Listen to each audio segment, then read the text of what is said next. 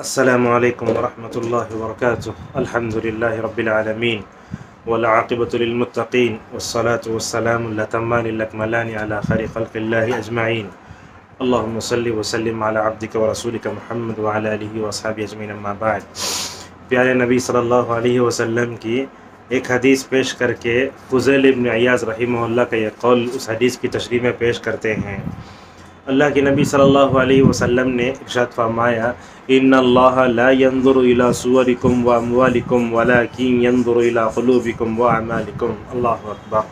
نبی کریم صلی اللہ علیہ وسلم ارشاد فرماتے ہیں کہ اللہ تعالیٰ تمہارے چہروں اور تمہارے مال کی طرف نہیں دیکھے گا، دیکھتا ہے، بلکہ وہ تمہارے دلوں اور تمہارے اعمال کو دیکھتا ہے۔ اس حدیث کی تشریح میں اہل علم لکھتے ہیں صلاح القلب والعمل اہم من صلاح الجسم۔ کہتے ہیں، جسم کی اصلاح کرنے سے دل کی اصلاح کرنا ضروری ہے۔ کیوں؟ لِأَنَّهُمَا محل نظر اللہ۔ اس لیے کہ اللہ تبارک و تعالی تمہارے دل کی طرف بھی دیکھتا ہے، تمہارے اعمال کی طرف بھی دیکھتا ہے۔ اس حدیث سے پہلی بات ہمیں یہ معلوم ہوتی ہے کہ اسلام صرف ظاہر کو سنوارنے کا نام نہیں ہے، بلکہ باطن کو بھی سنوارنے کی ہمیں تعلیم دیتا ہے۔ دنیا کے سارے مذاہب میں صرف ظاہر پر زور دیا جاتا ہے۔ ہمارا جسم اچھا رہے بس نہیں۔ ہمارا تو یہ کہنا ہے، بلکہ شریعت کا تو یہ کہنا ہے کہ اگر آپ ظاہر کے ساتھ باطن کی جو ہے تعمیر کی طرف توجہ دیں گے، اور شریعت تو یہ کہتی ہے کہ ہمارا ظاہر و باطن یکساں ہوں۔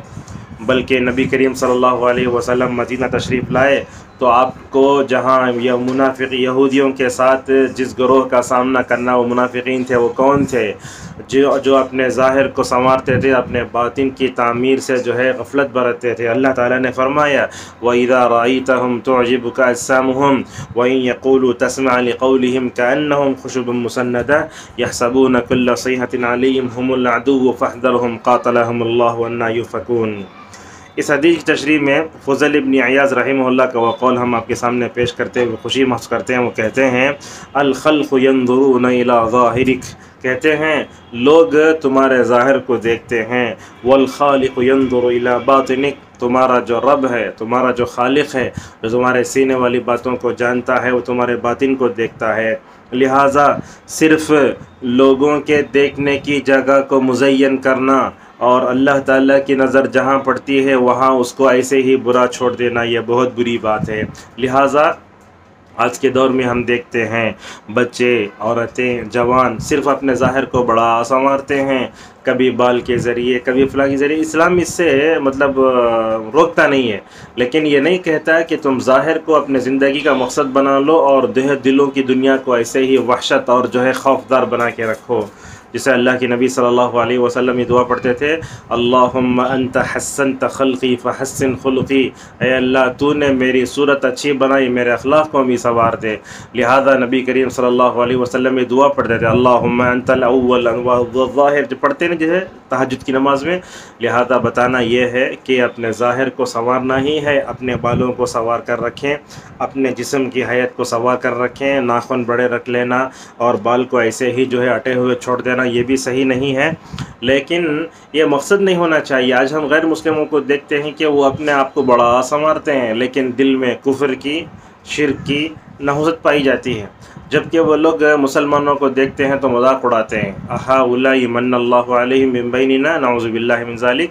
تو اس طریقے سے اس ویڈیو کا پیغام یہ ہے کہ ظاہر کے ساتھ باطن کو سنوارنا اہم ہے، بلکہ ظاہر و باطن کو یکساں کرنا یہ بہت اہم ہے۔ اگر ہم اپنے ظاہر سے بڑھ کر باطن کو سنوار لیتے ہیں تو اسی کو قرآن نے تزکیہ نفس، احتساب نفس کہا ہے۔ چنانچہ نبی کریم صلی اللہ علیہ وسلم کی دعاؤں کو پڑھتے رہیے۔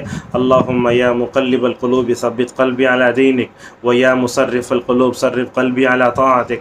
اور اس طریقے سے یہ دعا حضرت زید بن ارقم رضی اللہ عنہ کہتے ہیں کہ نبی کریم صلی اللہ علیہ وسلم دعا پڑھتے تھے، اللہم آتی نفسی تقواہا وزکیہا انت خیر من زکا انت ولیوہا و مولاہا۔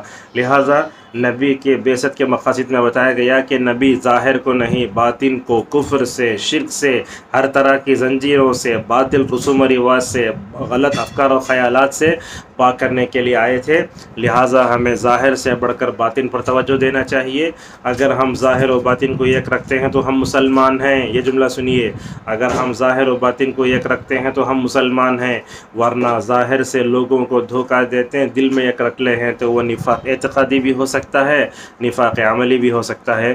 اللہ تعالی ہم سب کو اس حدیث پر عمل کرنے والا بنائے اور ظاہر سے بڑھ کر ہمیں باطن کی، اپنے دل کی اور اپنے اندر کی اصلاح کرے توفیق عطا فرمائے۔ آمین۔